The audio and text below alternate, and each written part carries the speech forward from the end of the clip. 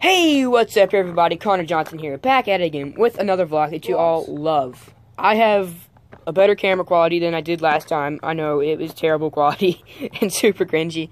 That's when I was, uh, never mind. Um, just kidding.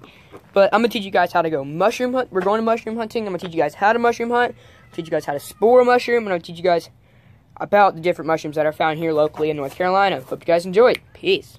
Okay, so the way to spore a mushroom is you get your knife and you flip a mushroom upside down and you cut the stalk right right there like that make it kind of smooth with the gills and then you just lay it upside down where you found it and then by tomorrow it will be though mushrooms don't have seeds they have spores which is like dust. It's like mushroom dust. So if you ever stepped on a mushroom and it like sparted out, or farted, what?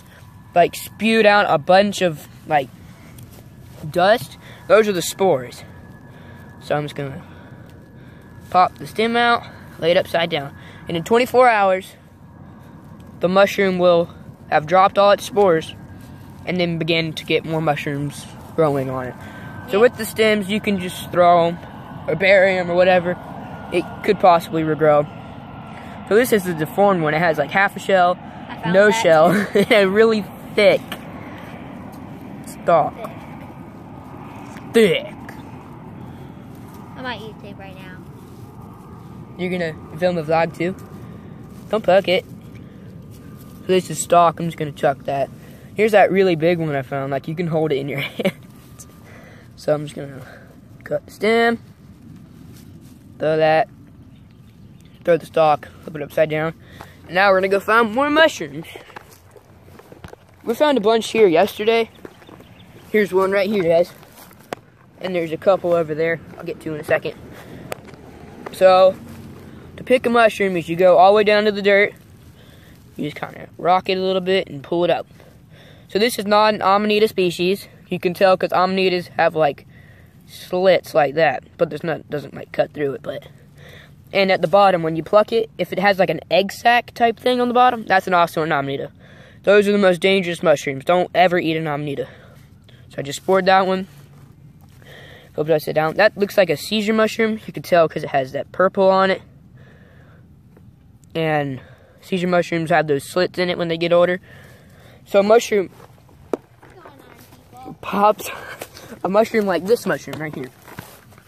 This mushroom has. Here, I'll, I'll thank you. Oh, God. We're talking about mushrooms, and we're going mushroom hunting with. And you just cut it like that, and the mushroom has where, hey guys, it curves over like that. It means it's a baby mushroom. Adult mushrooms will flare up and then pop the head off, and that's how they spore themselves in the wild. He's talking about like regrowing mushrooms. Here's a big patch. Here's a mushroom. So you can see how this one here is full grown because it's flared up and has that cup. So this one here is about to spore. And you can see how it's it's moldy and rotten. The stem's all nice and purpley. Found a mushroom. What is this? What I don't know. Okay, hold on. So these are the two different colors. This one's white. This one's purplish. So what you do, again, cut it off, lay it upside down.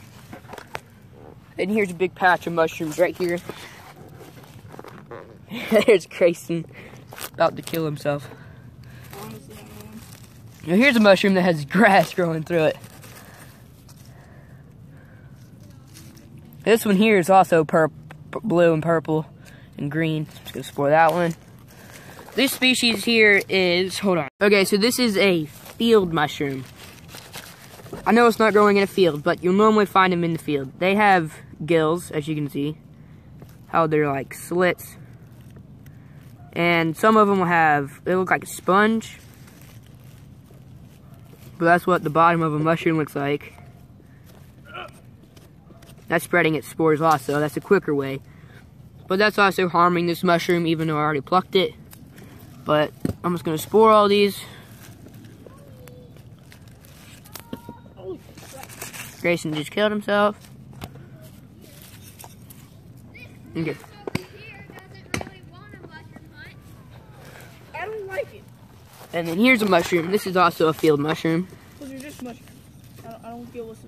This one's like a rotten field mushroom. We're humans, Okay? And like I- I Explored love that. mushrooms. mushrooms, life matter, bro. Yeah, mushroom lives matter. Here's another field mushroom. Brody, I'm finding a lot of field mushrooms.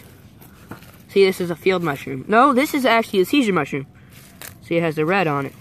But but it's like Spore that. yeah, this is the expert over here. Yeah. With my sick knife. Cool, cool, cool. Now, here's a Caesar mushroom.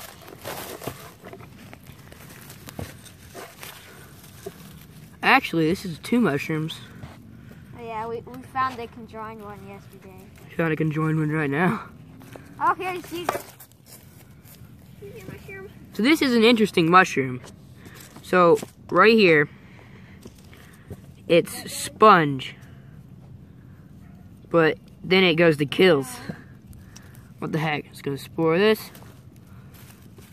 So this is the deadly version. You can tell because it has dots on it, and sometimes those dots will be wiped away by the rain. But sometimes they're not, which means that it's the deadly one. It's not an Amanita, but it's a deadly one. And I found this perfect perfecto. Already, I found an actual Caesar mushroom, not the deadly one. Now look at this, guys. This is what a Caesar mushroom is supposed to look like. That's just a little, whatever, but that's what a Caesar mushroom is supposed to look is- like. Been mushroom hunting with me, Conner, and All right, guys. we're not gonna put him in. No. So I hope you guys enjoyed. But if you did, make sure to like, share, and subscribe.